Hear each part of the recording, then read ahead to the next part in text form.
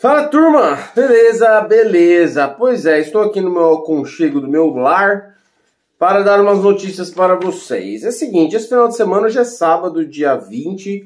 Amanhã, dia 21, eu uh, tinha programado a ir ao SeaWorld, inclusive fiz a reserva, já expliquei em vários vídeos meus uh, que agora para ir no SeaWorld na Disney você precisa fazer uma pré-reserva, então eu tenho aqui meu passe anual, tá vendo? Tem minhas informações aqui atrás. E, e aí você tem que entrar no site ou no aplicativo do parque, fazer uma reserva, porque é uma quantidade limitada de pessoas que vão agora no parque, e eu fiz, tá? E eu acabei imprimindo, é como se fosse um outro ticket, eu não vou mostrar tudo, porque tem informação, tem endereço meu aqui tudo, mas eu vou mostrar para vocês aqui que tem um código de barra e tem aqui reserva para o dia 21 do 6, não sei se vocês vão conseguir ver aí, ó, tá vendo? Para poder ir lá. E aí o que aconteceu? Essa semana aconteceu umas coisas interessantes aqui. A Flórida virou o olho do furacão com relação ao coronavírus. Ah, explodiu o número de casos aqui na Flórida.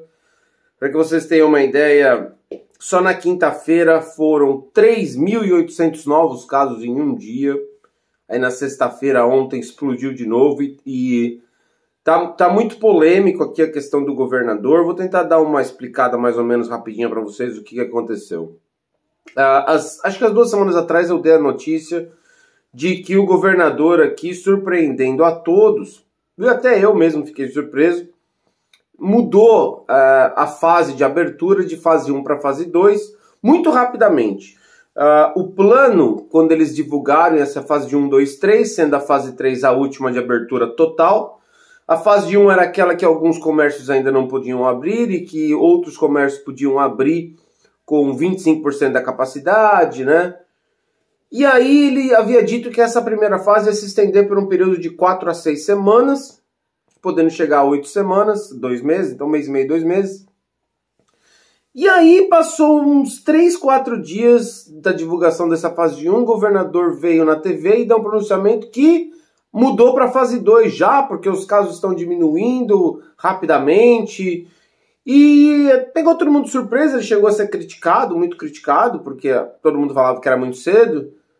E, e aí, exatamente duas semanas depois, a gente teve um pico enorme e a Flórida virou o maior centro de contaminação de coronavírus dos Estados Unidos no momento.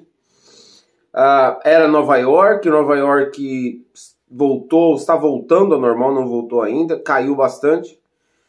E o governador está sendo simplesmente massacrado pela, pela mídia. É, e aconteceu uma coisa ontem, na sexta-feira, muito interessante. Estava vendo uma entrevista dele. E ele, e o, o, o jornalista fez a pergunta, falou assim: Mas por, o que, que você se dá a esse número de aumento estrondoso de novo coronavírus? E ele deu a, a justificativa que normalmente todo político dá, falou, não, que agora a gente está testando muito mais, nós estamos testando muito. E aí o repórter deu uma informação que realmente desarmou ele. Ele mostrou três gráficos, eu não consegui achar esses gráficos para colocar aqui. Um era o gráfico da Flórida e eram duas linhas. Uma linha dos testes e uma linha dos novos casos. Então a linha dos testes realmente aumenta exponencialmente, porque você está testando muito mais, mas o número de novos casos aumenta também acompanhando a linha. E aí ele mostrou Chicago e Nova York, que muito parecido com a Flórida tem a linha dos diagnósticos aumentando bastante, porque estão fazendo muito mais diagnóstico, mas a linha dos novos casos não acompanha a linha do diagnóstico, ela se mantém baixa e caindo. Ela faz um platô e começa a cair, enquanto a Flórida sobe.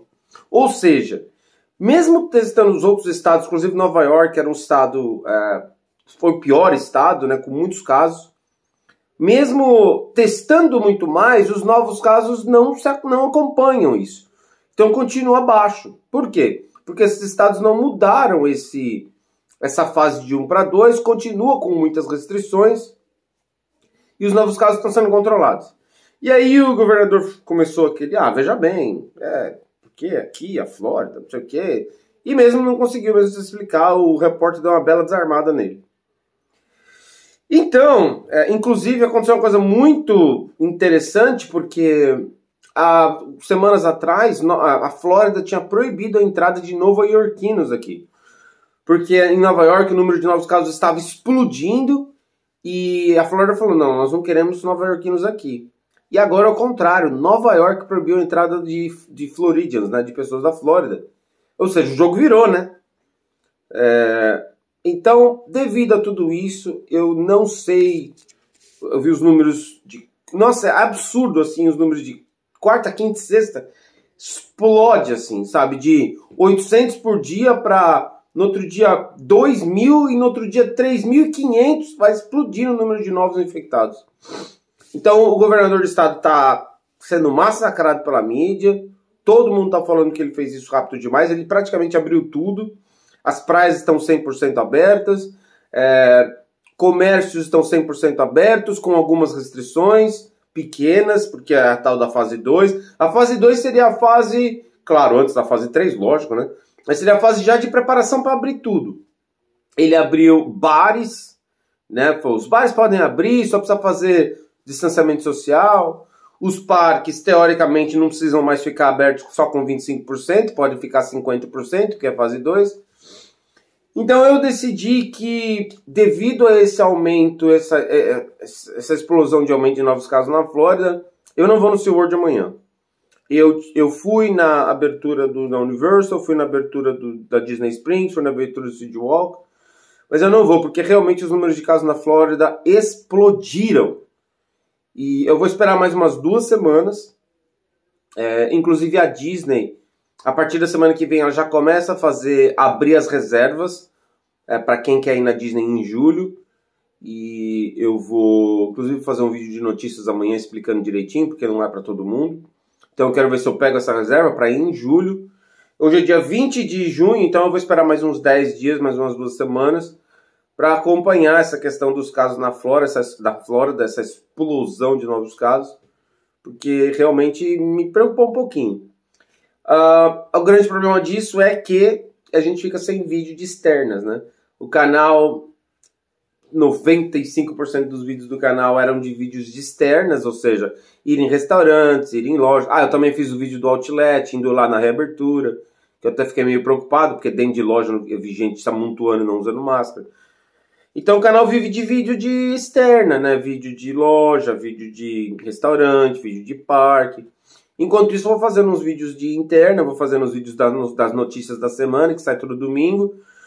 É, às vezes eu coloco alguns gameplays lá, né, para dar uma distraída também, porque a gente tá em casa, né? E, e vou fazendo algumas notícias, algumas curiosidades do parque por enquanto, até que tudo abra. Eu quero ir na Disney e tal, mas nesse momento, com essa recente explosão de novos casos, eu não, não tô legal para ir, não me sinto bem. É, eu entendo aqui como aí no Brasil tem gente que tá cagando. Eu já vi isso, então tem gente que, que não usa máscara, que sai na rua, que. Ah, tem gente que não liga, velho. Tem gente que tá nem aí, que, sabe, apertou, foda-se. Mas eu não sou muito desses, não. Eu acho que a gente ainda precisa tomar alguns cuidados. Certo? Então é isso, galera. Vamos mandando notícias. Amanhã sai vídeo de notícias da semana. Já sabe, gostou desse vídeo? Dá um joinha aqui pra cima do canal.